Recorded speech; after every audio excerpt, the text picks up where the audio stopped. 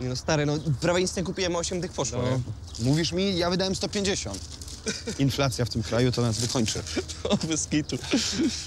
E, Ty co, nie Kacper? No Kacper, faktycznie.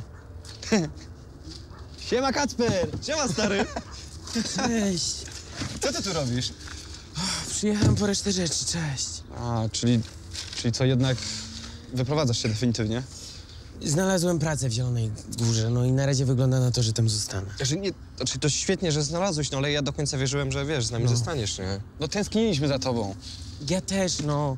Dlatego siedzę w tym cholernym samochodzie i nie mogę wyjść, bo mi przykro. No wierzę. No, poza tym zbieram siły, żeby zobaczyć je ze wszystkimi. Nie chcę słyszeć, jak się trzymasz, będzie dobrze, wiecie. Kacper, jak się trzymasz? Słuchaj, naprawdę, y, będzie dobrze. Ała, jak Ja szczepionkę, gościu! A, kompletnie nie wiem, jak się zachować wobec Meli, no. Nie wiem, co zrobię, jak ją zobaczę. Znaczy, wiesz, jeżeli chcesz, no to możemy spakować twoje rzeczy i ci je tu przynieść, no ale ja nie wiem, czy to jest najlepszy pomysł. No niezbyt. Nie, no, muszę zachować się jak facet, chodź. No chodź.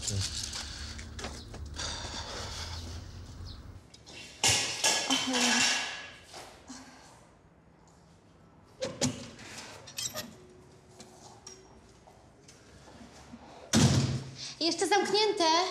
Dobrze, to ja poczekam. Kacper, wróciłeś mi, chciałam, chciałam. Mela, Mela, proszę cię, nie. Ja przyjechałem tylko po rzeczy i zaraz wracam do Zielonej Góry.